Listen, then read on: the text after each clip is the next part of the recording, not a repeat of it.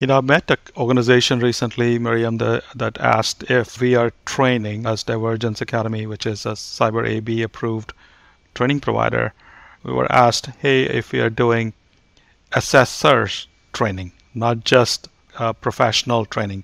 I guess certified CMMC professional, that's one type of certification.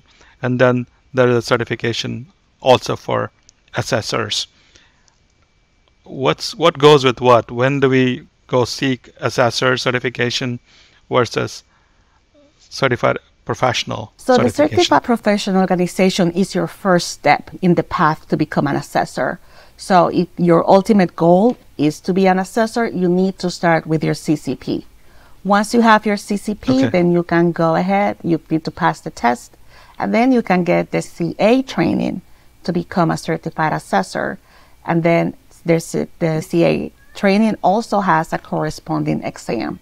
So CCP is a prerequisite to becoming an assessor, and then you once you take your CA training, you can take the test.